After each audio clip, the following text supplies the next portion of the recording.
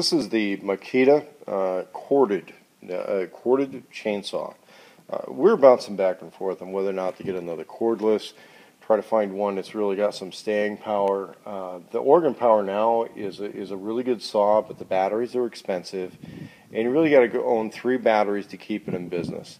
And what we figured out is that we can, we're, we're, we're getting one of these for the evaluation to see how well it holds up because a lot of the lumber processing we're going to do, uh, you know, with gas-powered saws, but there's this medium where you're dealing with the treetops where the stuff is, it's really too small and too springy to want to deal with a high-powered, you know, if you got a high-powered, high-horsepower saw and and a woman or even one of the men who's been bucking all this stuff up is, is dealing with it and they're a little fatigued and that shit's really springy, you uh, it, it, can throw that giant blade right back at you with that spinning chain and that high horsepower and cause some really horrible injuries.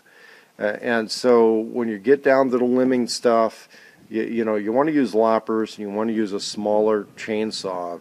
Uh, I'm not saying you want to use a weak chainsaw, but you know not something with that major horsepower because with these big saws, once you get that once you get that chain down into a log, you're pretty safe. Okay, it, it, it, you get that chain down into a log, and you're sitting there, and you're holding the trigger, and it's cutting the thing. You know, you can relax a little bit. When you're limbing, that shit can spring back at you. It can be under tension. You want a lightweight, handy saw, and even with the cordless saws, a lot of times you've got that battery adding weight, and and sometimes they're just they're not strong enough to do that sustained. And so we got one of these Makitas. It's the highest rated, definitely not the cheapest, of the corded, uh, of the electric chainsaws.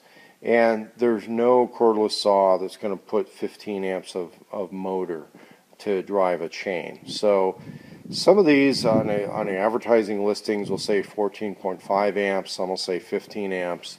This particular one really kind of gives me the impression that it's using the motor from one of their worm drive saws. And interesting, 14.5 amps. Uh, and then there's something here that says 13.8. So, you know, maybe it's not an exact science. It has to do, you know, little changes in how they wind the saws. Now, we're not using fuel with this saw, but remember, you still need to oil the chain, just like on the cordless saws. You still have a chain oiling situation. So we're not talking about petroleum-free wood processing. And uh, although I've met Cody Wranglerstar at one of the uh, survival expos, hey, he's a chainsaw user too, okay? And uh, he does a lot with, with buck saws and crosscuts and all that kind of stuff. But when you got to buck up a bunch of firewood and, and all that, you, you need to be, you need to be efficient with your time and, and the available technology. So what you get in the box is obviously you get the motor head assembly itself. Uh, you're going to get a Makita chain bar. You're going to get an Oregon chain. And the Oregon chains are pretty much come with all of your, most of your commercial chainsaws sold in, in, in the world today, it seems like, are going to have an Oregon chain. Uh, those guys are outside of Portland. Uh, they know how to make saw chains, and that's the way it is. So everything's going to come with an Oregon chain, but the chain lengths, uh, you know, what manufacturer specifications are uh, they know the horsepower of their saw and the capabilities and what their opinion is on, on you know, let's say tooth lengths with clearing links or maybe the onboard sharpening mechanism like with the Oregon PowerNow saw. Uh, even though they're all Oregon chains, they're going to be a little different depending on what that company wants on their chains. So we'll pop this open. We're going to get it together and show this uh, a little bit before we put it in action. So we've got the side cover off. It's a toolless removal. And one of the things I noticed after I kind of got to unpacking the box, there are no tools included with this. So apparently it's a toolless setup. So that basically you, it comes like this. You flip this back, you push the plunger in, and that will activate your ability to loosen up on this thing. Uh, once you get that off, see it's, a, it's kind of a nut arrangement here. And then uh, seems to be a floating bolt in that nice heavy duty, I don't know, it's magnesium or, or, or aluminum housing. Um, it, it, you can tell you're dealing with quality equipment here. Uh, the band you'll see here is your chain brake mechanism, there's a clutch mechanism. And uh, orienting your teeth, you see how the, uh, the sharpness is at the bottom uh, the sharpness points to the back because the, the saw blade goes this way, okay? Uh, you've got real bucking bars. A lot of saws come with that not assembled. That, that just comes already on there. It's a steel tooth bucking, bucking bar. It looks like they're putting a, a tooth every other link, and not every second or uh, not every third link, like on the uh, that Oregon chain that comes with the Greenworks saw. So they, they put a real real uh, cutting tooth every other link that cuts in the opposite direction so that it will uh, give you a pretty wide cutting kerf. I believe that's what they call that. A nice heavy duty housing. I there's not a lot of space in here for crap to get out. So I uh, I don't know how it's going to be for stuff build up, but we'll find out.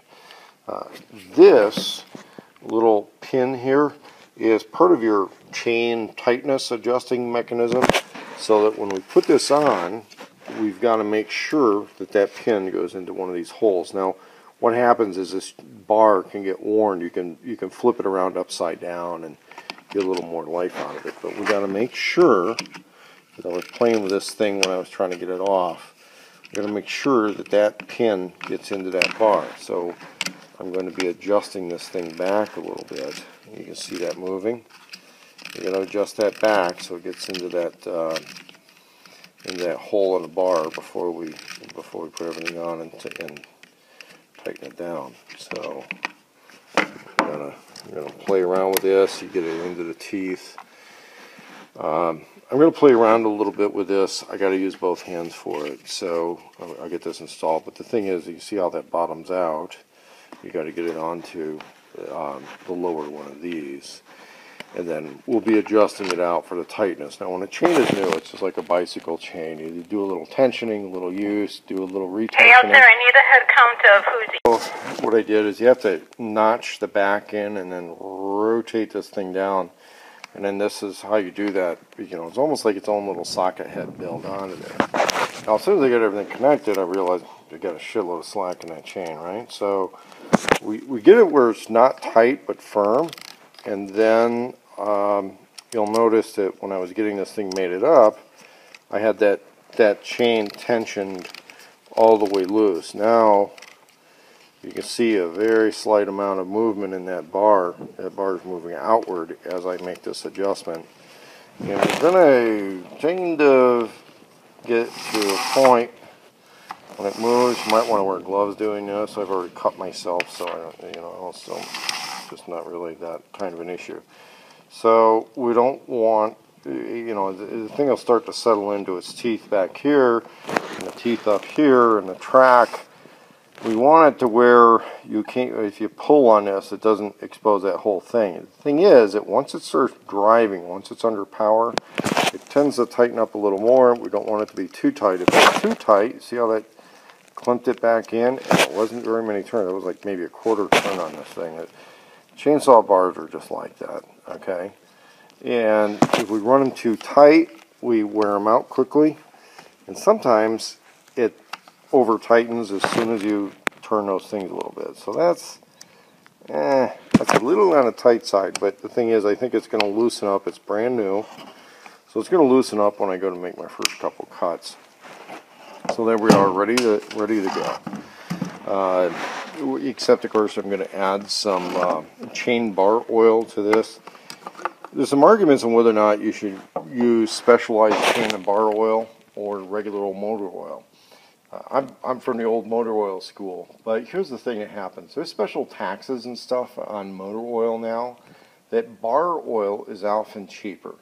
Now bar oil has a little bit of a paraffin type material in it which will, it, it's stickier than motor oil and so it will stay in there because one of the things that happens when you get sawdust and crap around, a lot of times a little oil spouter thing that feeds oil to the bar as you're cutting, that gets clogged up. And it's less likely to clog up if you use regular motor oil, but once you're using regular bar lube, it, it, it can get a little thicker and it can clog up. And if you're like me, you just end up dumping some onto the bar every once in a while. When you get to the point where you're having to dump it on the bar every once in a while, you want to use a real chain and bar oil. So I'm going to get my bottle of regular bar oil. I'll put it on here and uh, we'll see long term whether or not that clogs up the system. The reviews I've been reading on uh, online are that it doesn't doesn't have seem to have that problem. Uh, one of the other things I was looking through the owner's manual on here, you have to look out for with any electric saw, corded or cordless, which isn't that big of an issue with gas-powered saws, is this thing should not be out in the rain. Okay, it shouldn't be leaving it out in the rain. Uh, so that's that's one of the one of the shortcomings of using this type of a saw. What we're looking at though is over time we're saving money on fuel and of course this saw is going to be as powerful as its gasoline powered counterparts and more powerful than its cordless counterparts in the same size range. This one's got the 16 inch bar. They also have a very popular 14 inch bar version that's apparently very popular among the uh, log home builders for notching and trimming logs. They're lubed up, ready to go. And the other thing is, when one of these is brand new and it hasn't had any uh, oil on it for a while, is it doesn't hurt to dump a little into this stuff. Okay. The other thing is if you take some grease and grease this hole, but again it's new. Um, gotta watch out; these teeth are pretty sharp. But I'll I'll put oil on there. You know, I'll spooge a little extra on there just to uh, because nothing's been going through its onboard lubrication system yet. And it's uh, break time. So we're to put this on and I'll show you the cutting next. Going. Okay, so here we've made a few test cuts before turning the camera on. Uh, we're plugged into inverter power on a 5 kW inverter. Uh, again, we're loaded up. Might have to do a little more adjusting on the chain because it's a brand new chain. But in power testing this on uh, 4 to 6 inch stuff, I had no problem at all.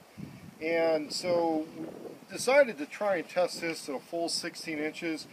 Now you lose about an inch because of the bucking bar, but remember it's a steel bucking bar.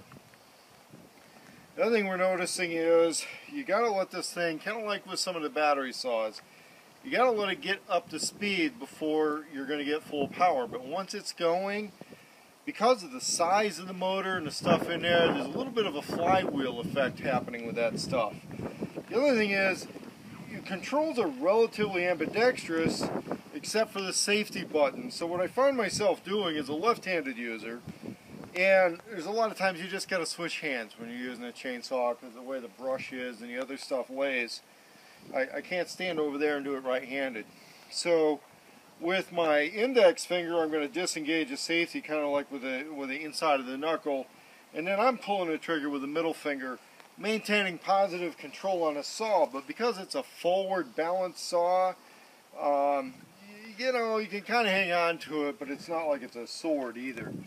So here we're going to show cutting it pretty close to the full length of the saw. It says it's about a 14, 15 inch log.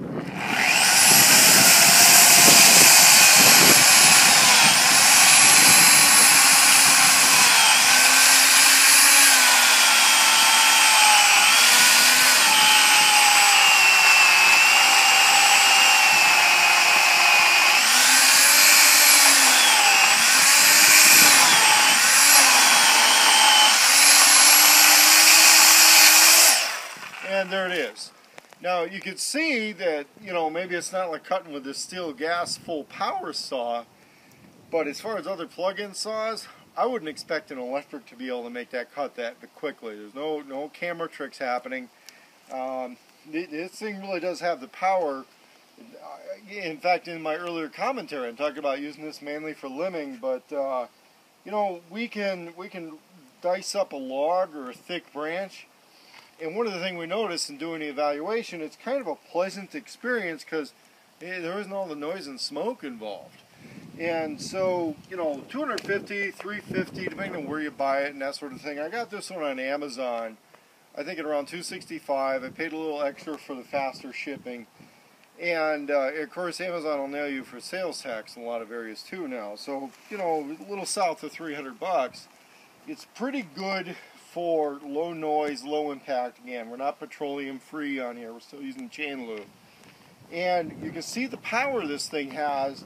It's no joke, no punk, and there is not a cordless saw out there, including the very best one on the market, which I tested previously. Uh, there is not a cordless saw out there which, which is going to match the power you get out of this Makita saw. There may be some other electric saws that maybe come close, but as far as we've been able to tell, and the reason we did the evaluation on this, it's kind of one of those only game in town situations. All of the other electric saws are cheaper, the, the corded ones are cheaper for a reason. But remember, you've got to have a lot of power on tap. We're using super thick extension cords, a 5,000 watt inverter, or of course plug-in grid power with a 20 amp outlet when possible. Uh, so there it is, a Makita corded 16 inch, uh, 14.5 amp saw.